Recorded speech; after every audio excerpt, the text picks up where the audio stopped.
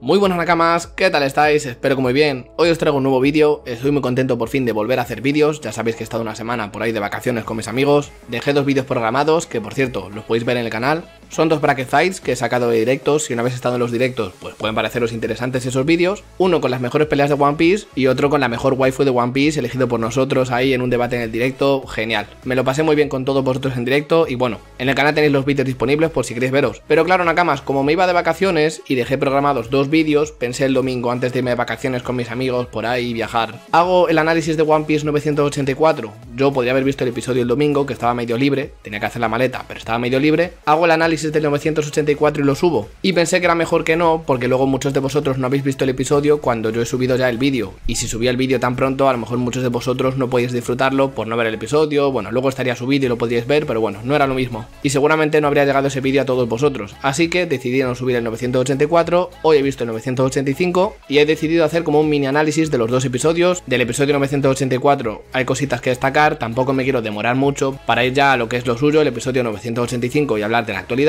Pero bueno, que voy a comentar los dos episodios, el 984 del anime y el 985 del anime One Piece, los dos en este vídeo. Como siempre, ya sabéis que no va a haber spoilers, solo voy a comentar cosas del anime, aunque yo sea lector del manga y vaya al día con el manga. Solo hablaremos del anime. Y antes de comenzar, un saludo para estos tres nakamas que fueron los primeros en comentar en mis tres últimos vídeos: María Romero Ruiz, Don Wall E82 y Dendo Zoro. Un saludo muy especial para los tres y ya sabéis, si queréis que os salude a vosotros tenéis que ser los primeros en comentar en mis vídeos. Y para ello estaría muy bien que estuvierais suscritos, que dejaréis un like ya de paso y que activéis la campanita para ser los primeros en llegar, comentar y que os salude en mi próximo vídeo. Y ahora sí que sin nakamas, comencemos con el análisis de One Piece 984 en primer lugar y luego One Piece 985. Vamos allá.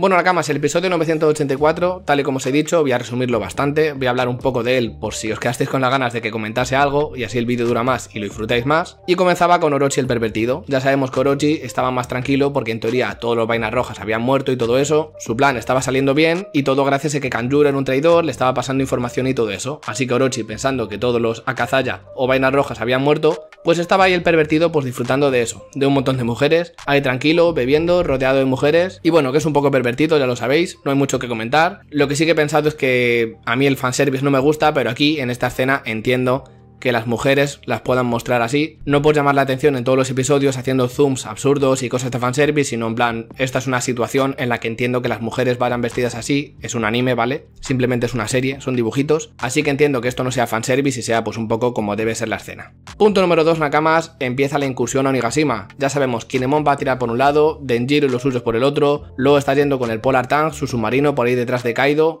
No, de Kaido no, aunque sí, detrás de Kaido también, pero bueno, van por detrás de Nigashima para dar una sorpresa a Kaido y acabar con su vida. Vemos como Kid, tal y como vaticinaba Lo, iba a pasar de plan, al igual que Luffy. Kid tira para adelante, ya sabéis que van todos vestidos como soldados de Kaido, gracias a la fruta de Kinemon, para pasar todos un poco desapercibidos, pero no quita que Kid vaya hacia adelante, se meta ahí en Onigashima como si nada, en la mansión youtuber de Kaido, y entre sin seguir ningún tipo de plan. Pero claro, ¿qué pasa? Kid va al frente sin plan. Luffy le regaña a Kid y le dice, no, tienes que seguir el plan, cuando sabemos que Luffy haría lo mismo exactamente. ¿Y qué pasó? Pues que Luffy hizo exactamente lo mismo. Se fue detrás de Kid sin seguir el plan. Y claro, ¿y quién es más listo que estos dos?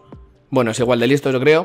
Zoro. Zoro, que es el hombre que más se pierde en el mundo, que necesita 7 GPS, pues se va a seguir a Luffy diciendo que para detenerle, para que el plan salga bien, pero vamos, es lo mismo.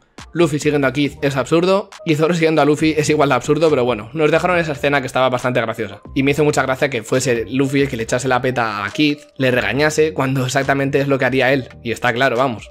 Vamos con el punto número 3 porque reaparece Kanjuro, del que he comentado antes, el traidor ya lo sabéis, el traidor de los vainas rojas, reaparece yendo por ahí como por un subterráneo de Nigashima, una entrada secreta imagino, acaba con unos subordinados de Kaido porque evidentemente estos subordinados no saben que Kanjuro era un traidor en realidad, en teoría pocas personas lo saben para que el plan saliese bien, entonces Kanjuro acaba con esos subordinados de nivel menos uno. Le vemos acompañado de Momo. Momo ve un cuchillo que va a intentar utilizar para cargarse a Kinemon.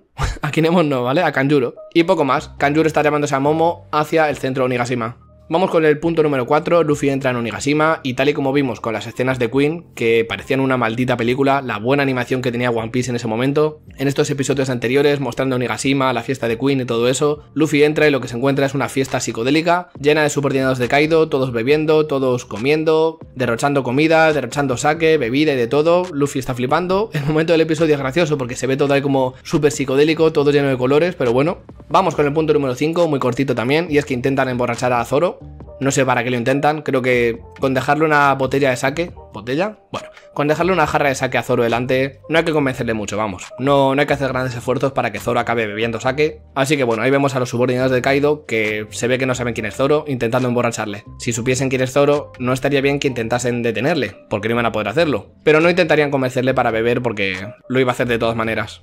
Vamos con el punto número 6 y es que Frankie trae juguetes nuevos Nakamas. En primer lugar, el rinoceronte negro, que es como una moto así muy grande que va a utilizar él, que luego veremos que se va con Brook por ahí. Y también saca el tanque Brachio 5, o tanque Brachio 5, como queréis decirlo, en el que va a Usopp rodeado de mujeres. Vemos que Usopp también es como Orochi, un pervertido, y se mete ahí dentro del tanque con Nami, con Carrot, con Shinobu y Usopp por lo que ve Sanji que intenta también meterse ahí, Usopp está rodeado completamente de lo que estaréis viendo en pantalla. Usopp no tiene manera de salir de ahí. Creo que aún así no está muy triste. Yo no le veo forzado ni obligado a intentar salir de ahí.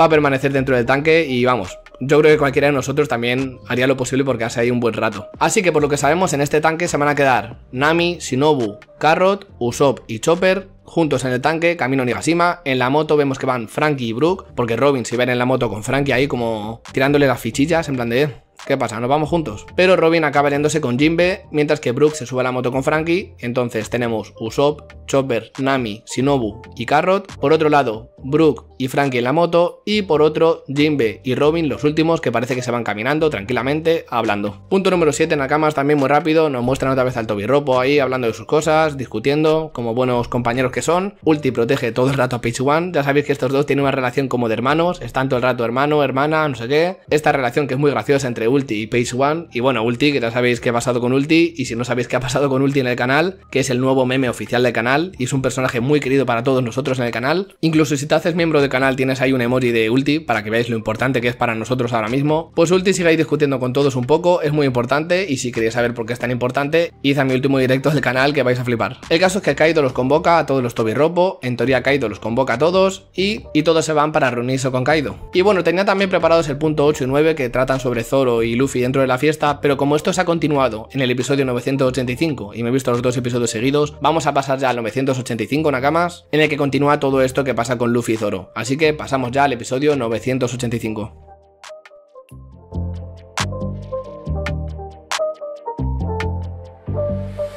Y estoy pensando que también mola bastante esto, Nakamas, hacer los dos episodios seguidos para darle continuidad a lo que hemos hablado. Acabo de hablar del Toby Ropo y el punto número uno del episodio 985 es eso, el Toby Ropo reunido con Kaido, parece que tienen que hablar. Kaido dice que bueno, que ya que están ahí les cuenta que tenían que presentarles a Big Mom. Big Mom se está vistiendo mientras se pinta los labios. Ya sabéis que es una gran waifu de One Piece, obviamente, a quien no le gusta Big Mom, así que se pinta los labios, se pone guapa, se pone atuendos de guano y está preparada para salir de ahí con Kaido y reunirse con él y todo eso, ya lo sabéis. El caso es que en realidad no era Kaido quien les llamó, les llamó King, con otra intención, y en ese momento Kaido llama a Bao Wang, con un nombre bastante extraño, la verdad. Es una usuaria de Smile que, como vemos, tiene la cara tapada ahí como con un ojo pintado, como si fuera una hoja de papel en la cara o algo así, lo estaréis viendo en las imágenes, y es la que le lee a Kaido las tareas que tiene que hacer ese día. Y lo más relevante que sacamos de todo esto, Nakamas, de la reunión del Toby Ropo y Kaido y tal, es que la chica esta, Bao Wang, o como se llame, le dice a Kaido que tiene que hacer luego un anuncio muy importante, a lo que el Toby Ropo le responde a Kaido que por qué no se lo cuenta ya, que son miembros de la tripulación importantes y que se lo diga ya. Pero Kaido dice que anunciar una cosa tan importante en ese momento podría causar confusión, así que se lo reserva para luego Nakamas, ya veremos lo que es en el siguiente episodio a lo mejor dentro de unos cuantos episodios, pero Kaido va a decir algo muy importante. También Kaido les propone a los Toby Ropo, que ya sabéis que no son comandantes generales, no son cabeza de cartel, que sería como los comandantes oficiales del Yonko de Kaido, les propone al Toby Ropo, que están un escalón por debajo, que si encuentran a su hijo Yamato, que se encuentra en teoría desaparecido en la isla,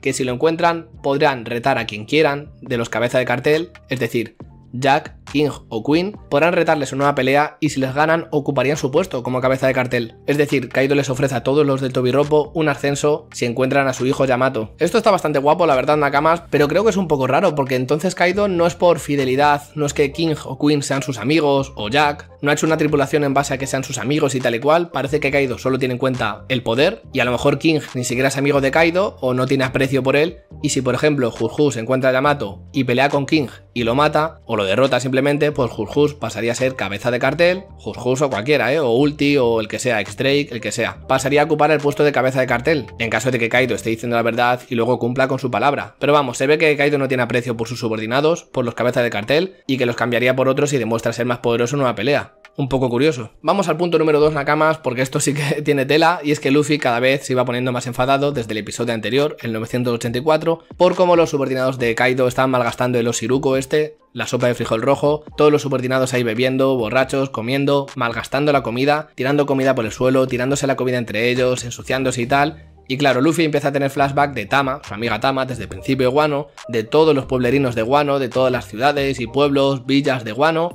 pasando todos hambre por culpa de Kaido y Orochi, y mientras los subordinados de estos, que son malas personas, tienen demasiada comida, más de la que pueden consumir o más de la que deberían consumir, y la están malgastando como si nada, cuando mucha gente está sufriendo por ese hambre y esa pobreza que Kaido y Orochi han traído al país. Así que Luffy hace lo que, lo que está claro que haría Luffy, aunque creo que también lo haría cualquier Mugiwara, y es enfadarse de verdad, pasar de plan como haría Kid, aunque lo de Kid me parece más estúpido, aunque es un personaje que me cae muy bien, porque Kid quiere saltarse el plan porque sí, porque quiere cortarle la cabeza a Kaido. Sin embargo, Luffy lo va a hacer porque no puede más con la rabia de ver que desperdician comida y la gente de Wano sufre. Así que entiendo completamente a Luffy, que en este caso se salte el plan. En otras ocasiones lo ha hecho por menos razones, aquí tiene más razón, entendemos su enfado, nosotros también nos enfadamos viendo esto, y Luffy decide utilizar su fruta delante de todo el mundo, de los subordinados de Kaido, aunque él también vaya vestido como uno, utiliza su fruta delante de ellos, no le reconocen, no sé por qué. Luffy es un tío que se le llama Quinto Emperador, que lleva más de dos años siendo pirata, que tiene 1500 millones de recompensa, pero se ve que los subordinados de Kaido, pues yo qué sé, no leerán el periódico, sí que es verdad que están en Guano, y en Guano no llegan tanto las noticias, pero no sé, sabiendo que Luffy les había atacado y había estado en la cárcel de Udon, pues no sé. Pero bueno, no le conocen, es conveniente para la serie, es conveniente para el episodio y bueno, tampoco pasa nada. El caso que Luffy piensa en la pobre Tama, en el hambre que pasan todos los habitantes de Guano, y les hace un elefantogan a los tres subordinados estos de nivel menos 5, que madre mía. Los hunde en el suelo, les deja, vamos, les deja en el chasis, los destroza un solo ataque de un elefantogan, no les mata obviamente porque es One Piece y Luffy no va por ahí matando, pero vamos, era como para haberlos matado porque vaya golpe utiliza Luffy para cargárselos, increíble.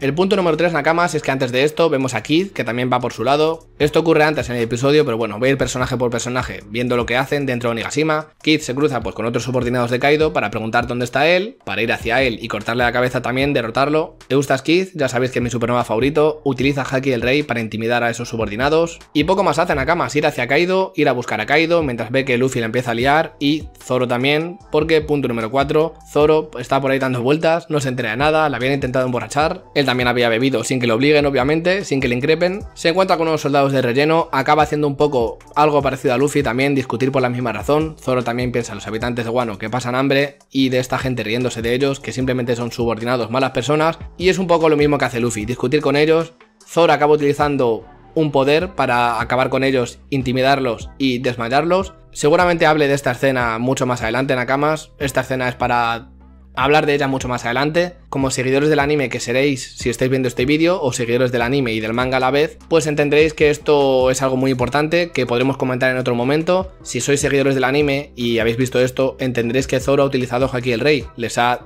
desmayado a todos los soldados que había alrededor. Y luego ha dicho a los demás que preguntaban, no os preocupéis, ahora se despertarán. Así que Zoro es consciente de lo que ha hecho, creo que ha utilizado Haki el Rey. Se confirma entonces que Zoro es usuario de Haki el Rey pero si sois seguidores del anime, tan solamente, y estáis atentos a las polémicas, sabréis que en Twitter se ha liado por algo de este tema que no voy a nombrar, no voy a hacer spoiler a nadie, entonces bueno, todo esto se ha liado un poco, si veis a otros creadores de contenido os habréis dado cuenta, porque yo estaba de vacaciones y no lo he podido comentar, pero bueno, tampoco lo voy a comentar ahora porque para comentarlo una semana tarde, ya lo comentaré más adelante en Akamas y ya hablaremos de la polémica, no quiero haceros spoiler, entonces es complicado hablar del tema sin hacer spoiler, pero esta escena ha dado mucho que hablar, la gente se ha enfadado bastante, la gente piensa que está bien, la gente todo. Así que bueno, si solo sois seguidores del anime, imagino que entendréis que Zoro ha utilizado Haki el Rey aquí y lo ha utilizado conscientemente. Así que sorpresa, sí.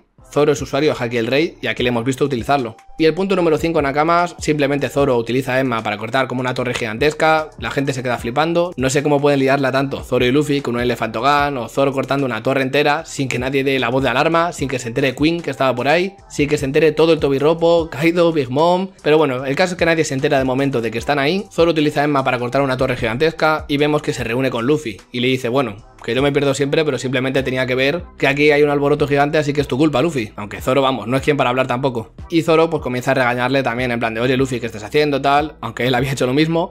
Y Luffy le dice, mira, están desperdiciando la sopa de frijol rojo, eso me recuerda a Tama, tal cual. Y Zoro dice, sí, pues vamos a matarlos a todos. Y ahí acaba el episodio, Nakamas, con eso que queda bastante gracioso. En estos dos episodios han jugado mucho con ese humor de que, bueno, uno regaña a otro por una cosa que hace el mismo, seguir el plan, no seguir el plan, al final todos la cama liando, Keith por lo menos ha ido por ahí callado, aunque también Keith quería ir de frente porque sí, Keith no iba a liarla por las mismas razones que Zoro y Luffy, que tenían razones para estar enfadados, liarla y pasar de plan, pero bueno, Keith va por ahí tranquilo, aunque su intención es también pasar de plan y liarla porque sí, al menos Luffy y Zoro tienen razones. Y nada, Nakamas, hasta aquí llegaría el análisis de los dos episodios, del 984 y el 985 de One Piece. Ya os digo, me gustaría hablar largo y tendido de lo de Zoro, pero pienso que ahora es el momento, no quiero hacer spoiler a nadie, ya lo sabéis, entonces como no quiero hacer spoiler, ni meter aquí partes del vídeo en que hable solo del manga, ni partes del vídeo en el quiera comentar esto sin censura, lo voy a dejar para otro momento, Nakamas, solo os digo que si seguís el anime, pues os habréis dado cuenta de que Zoro está utilizando Haki el Rey porque es obvio, y él es consciente de que lo está utilizando porque dice que nada, ahora se despertarán que han bebido mucho, así que él es consciente de que es él quien los ha dormido y está mintiendo. Y si os gustan las polémicas y todo eso, pues habréis visto en Twitter lo que pasa de verdad, todo lo que hay detrás de esta escena, la polémica que se ha formado, pero bueno, cosas que no voy a hablar aquí, Nakamas, si queréis hacer algún comentario sin spoilers, lo preferiría. En los comentarios dejarme vuestra opinión y lo que queráis, si es posible sin spoilers para las personas que no siguen el manga. Y nada, que un placer estar aquí de nuevo con vosotros, Nakamas, después de mis vacaciones. El próximo episodio lo tendréis el lunes o el martes como siempre, tranquilos. Se vienen cosas bonitas en One Piece, se vienen cosas bonitas, he dicho. Bueno,